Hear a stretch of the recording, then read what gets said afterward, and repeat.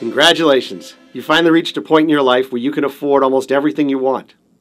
You own a house, you can travel, you can eat out, and you're even paying others to cut the grass and plow the driveway. You're making great money, and you know if managed properly, it could propel this lifestyle well into your retirement years. But here's the problem you're super busy. Mom and dad, well, they don't get this lifestyle, and your friends from the old neighborhood, well, they're just not the best resource for advice. You know you have college costs looming. There may be a wedding or two on the horizon, but so too in the not so distant future is your retirement. You need answers, and we're here to help.